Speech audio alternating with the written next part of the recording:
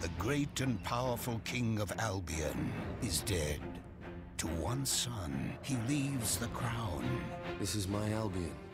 Its people will do as I say, or they will die.